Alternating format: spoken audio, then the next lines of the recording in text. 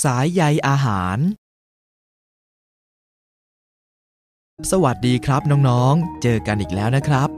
คาบที่แล้วเรียนเรื่องอะไรไปจำกันได้ไหมเอ่ย คาบที่แล้วเราเรียนเรื่องห่วงโซ่อาหารไปครับ ถ้าน้องๆจำไม่ได้ว่าเรียนเกี่ยวกับเรื่องอะไรไว้บ้าง น้องๆสามารถกดที่ปุ่มทบทวนได้นะครับ น้องๆครับ วันนี้เราจะมาเรียนเรื่องสายใยอาหารกันนะครับ น้องๆ คงอยากรู้แล้วใช่ไหมครับว่า สายใยอาหารนั้นคืออะไร วันนี้เจมส์เขาขออาสาพาน้องๆ ไปเรียนรู้เรื่องสายใยอาหารพร้อม ๆ กับเขา ถ้าน้องๆ พร้อมแล้ว เราไปเรียนรู้พร้อม ๆ กับเจมส์เลยครับ สวัสดีครับเพื่อนๆ วันนี้เรามาพบกันอีกแล้วนะครับ เมื่อคราวที่แล้ว ผมและเพื่อนๆ ได้ไปตกปลากับคุณลุงจำได้ใช่ไหมครับ แล้วเราก็ได้ความรู้เรื่องโซ่อาหารจากคุณลุง หลังจากวันนั้นผมได้สังเกตดูโซ่อาหารในชีวิตประจำวันมากมาย และผมก็ได้ค้นหาข้อมูลจากอินเทอร์เน็ตด้วยเครื่องแท็บเล็ตเครื่องนี้ของผมทำให้ผมรู้จักคำว่า สายใยอาหารเพิ่มขึ้นอีกหนึ่งคำเพื่อนๆคงอยากรู้แล้วใช่ไหมครับว่า สายใยอาหารหมายถึงอะไร งั้นผมจะอธิบายให้เพื่อนๆฟังเองนะครับ บนโลกของเรามีระบบนิเวศหลากหลายแบบ ซึ่งระบบนิเวศแต่ละแห่งนั้น มีสิ่งมีชีวิตอาศัยอยู่ และสิ่งมีชีวิตหลาย ๆ ชนิดนั้น ก็มีความสัมพันธ์กันในเรื่องของการกิน โดยจะมีการกินกันเป็นทอด ๆ จากผู้ผลิตไปสู่ผู้บริโภค จึงก่อให้เกิดเป็นโซ่อาหาร และเมื่อโซ่อาหารหลาย ๆ โซ่อาหารที่มีการกินกันเป็นทอด ๆ มาเชื่อมโยงกัน จะทำให้เกิด สายใยอาหารขึ้นยังไงล่ะครับ ดังนั้น สายใยอาหารจึงหมายถึงการถ่ายทอดพลังงานในรูปแบบของอาหารในแต่ละโซ่อาหารมารวมกันหลาย ๆ โซ่อาหาร จนทำให้เกิดการถ่ายทอดพลังงานที่ซับซ้อนและไม่เป็นระเบียบ การถ่ายทอดพลังงานในระบบนิเวศนั้น จะไหลไปในทิศทางเดียวกัน คือ เริ่มต้นจากผู้ผลิตไปยังผู้บริโภค และขณะเดียวกันก็มีการสูญเสียพลังงานออกไปในแต่ละลำดับ ไม่มีการหมุนเวียนเป็นวัฏจักร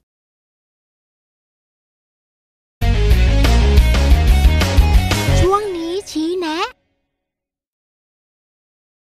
น้องๆ ทราบหรือไม่ครับว่า โดยทั่วไปในโซ่อาหารหนึ่งหนึ่งจะมีสิ่งมีชีวิตอยู่น้อยกว่า 6 ชนิด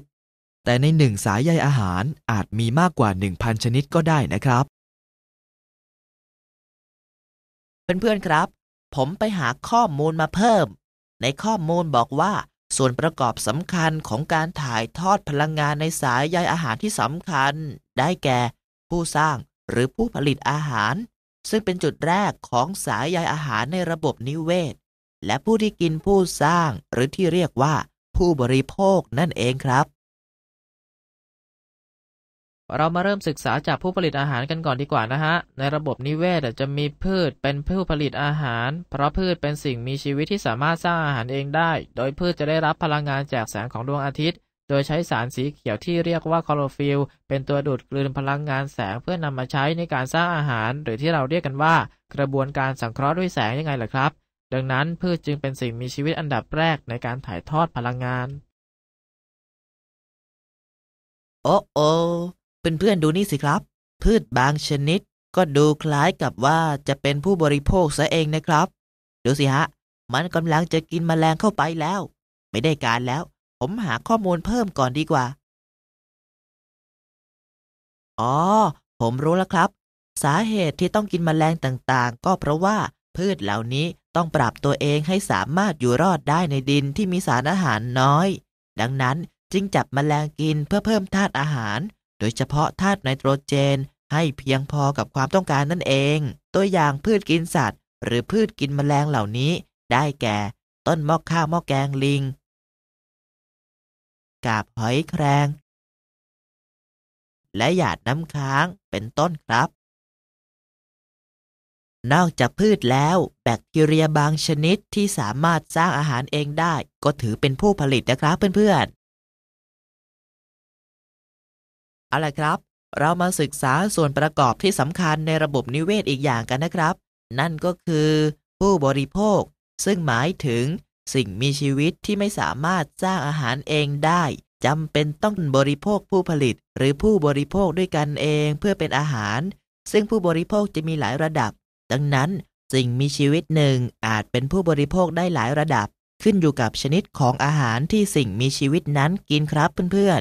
เพื่อนๆ ลองดูโจทย์ข้อนี้ไปพร้อม ๆ กับผมนะครับ ร่วมด้วยช่วยคิด ถ้าคนกินถั่ว คนจะเป็นผู้บริโภคอันดับที่เท่าไหร่ แล้วถ้าวัวกินถั่ว แล้วคนก็มากินเนื้อวัวล่ะครับ คนจะเป็นผู้บริโภคลำดับเท่าไหร่ ลองคิดไปพร้อม ๆ กันนะครับ มาดูเฉลยกันครับ ถ้าคนกินถั่ว คนจะเป็นผู้บริโภคลำดับที่หนึ่งเพราะถั่วเป็นพืช ซึ่งเป็นผู้ผลิต แต่ถ้าวัวกินถั่ว วัวจะถือเป็นผู้บริโภคลำดับแรกที่กินผู้ผลิต นั่นก็คือถั่วเป็นอาหาร แล้วคนที่มากินเนื้อวัวต่ออีกที ก็จะกลายเป็นผู้บริโภคลำดับสุดท้ายแบบนี้เป็นต้นครับ ดังนั้นเราจึงแบ่งประเภทของผู้บริโภคตามชนิดของอาหารที่กินได้ดังนี้ครับ 1. ผู้บริโภคที่กินพืชเป็นอาหาร เป็นสัตว์ที่กินพืช จึงเป็นผู้บริโภคลำดับแรกที่ได้รับการถ่ายทอดพลังงานจากพืชโดยตรง เช่น ช้าง ม้า วัว ควาย เป็นต้น 2. ผู้บริโภคที่กินสัตว์เป็นอาหาร เป็นสัตว์ที่กินเนื้อสัตว์เป็นอาหาร ไม่กินพืช จะได้รับพลังงานจากพืชก็ต่อเมื่อต้องกินสัตว์ที่กินพืชอีกต่อหนึ่ง เช่น สิงโต เสือ เหยี่ยว และฉลามเป็นต้น 3. ผู้บริโภคที่กินทั้งพืชและสัตว์เป็นอาหาร จะได้รับการถ่ายทอดพลังงานจากทั้งพืชสัตว์ที่กินพืช และบางครั้งอาจรวมไปถึงสัตว์ที่กินสัตว์ด้วยกันเป็นอาหาร เช่น ไก่ เป็ด นก และคนเป็นต้นครับเพื่อนๆ และสุดท้ายผู้บริโภคที่กินซากพืชซากสัตว์เป็นอาหาร จะเป็นสัตว์ที่กินซากพืชซากสัตว์ที่ตายแล้ว และเน่าเปื่อยผุพังเป็นอาหาร ได้แก่ นกแร้ง ไส้เดือนดิน ปลวก กิ้งกือ เป็นต้นครับ ยังไม่หมดนะครับเพื่อนๆ เรายังเหลืออีกหนึ่งส่วนประกอบหลักของสายใยอาหาร นั่นคือ ผู้ย่อยสลายอินทรีย์สารนั่นเองครับ ผู้ย่อยสลายอินทรีย์สาร หมายถึงสิ่งมีชีวิตที่สร้างอาหารเองไม่ได้ดำรงชีวิตโดยการหลั่งเอนไซม์ออกมาย่อยสลายซากพืชซากสัตว์ ให้กลายเป็นอินทรีย์สารเล็กๆ แล้วดูดซึมเข้าสู่เซลล์เพื่อใช้ประโยชน์ต่อไป เช่น เห็ด รา แบคทีเรีย เป็นต้นครับ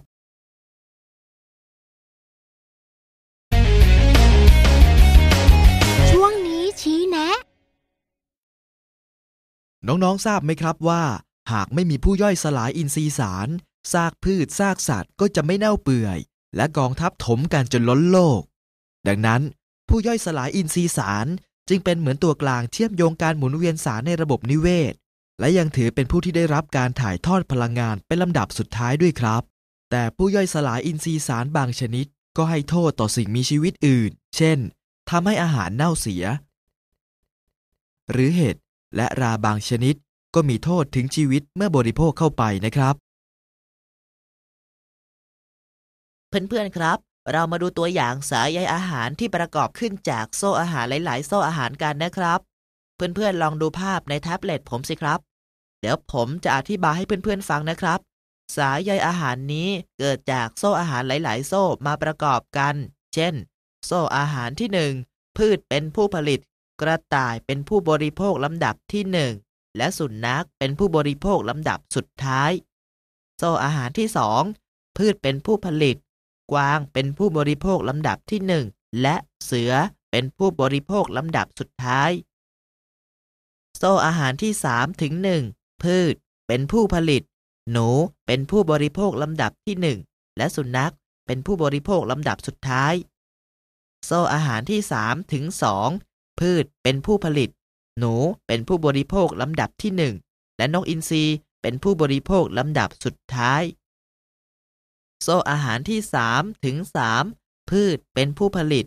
หนูเป็นผู้บริโภคลำดับที่ 1 งูเป็นผู้บริโภคลำดับที่ 2 และนกอินทรีเป็นผู้บริโภคลำดับสุดท้าย โซ่อาหารที่3ถึง4พืชเป็นผู้ผลิต หนูเป็นผู้บริโภคลำดับที่ 1 และนกฮูกเป็นผู้บริโภคลำดับสุดท้าย โซ่อาหารที่ 4 พืชเป็นผู้ผลิต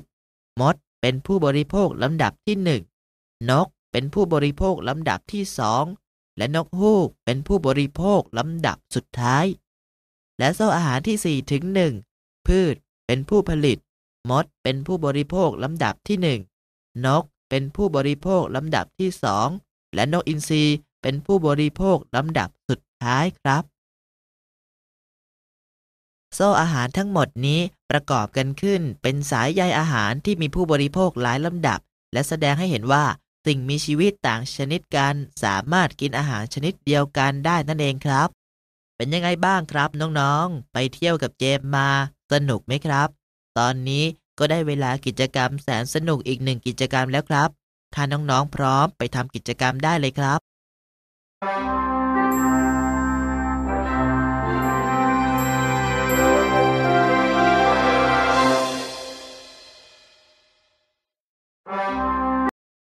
เป็นยังไงบ้างครับน้องๆ หลังจากที่เราได้ไปเรียนรู้เรื่องสายใยอาหาร สนุกไหมครับ เรามาลองทบทวนกันดูนะครับว่า วันนี้น้องๆ ได้ความรู้อะไรไปบ้าง สายใยอาหาร หมายถึง การถ่ายทอดพลังงานในรูปแบบของอาหารในโซ่อาหารแต่ละโซ่อาหารมารวมกัน จนทำให้เกิดการถ่ายทอดพลังงานที่ซับซ้อนไม่เป็นระเบียบ การถ่ายทอดพลังงานในสายใยอาหารจะถ่ายทอดไปในทิศทางเดียวกัน คือ เริ่มต้นจากผู้ผลิตไปยังผู้บริโภค และผู้ย่อยสลายอินทรีย์สาร ขณะเดียวกันก็มีการสูญเสียพลังงานออกไปในแต่ละลำดับ แต่ไม่มีการหมุนเวียนเป็นวัฏจักรครับ เป็นยังไงบ้างครับน้องๆ วันนี้สนุกไหมครับ คาบหน้าเราจะมาเรียนรู้เรื่องอะไรนั้น น้องๆ ต้องรอติดตามนะครับสำหรับวันนี้ต้องไปแล้วเหรอครับบ๊ายบาย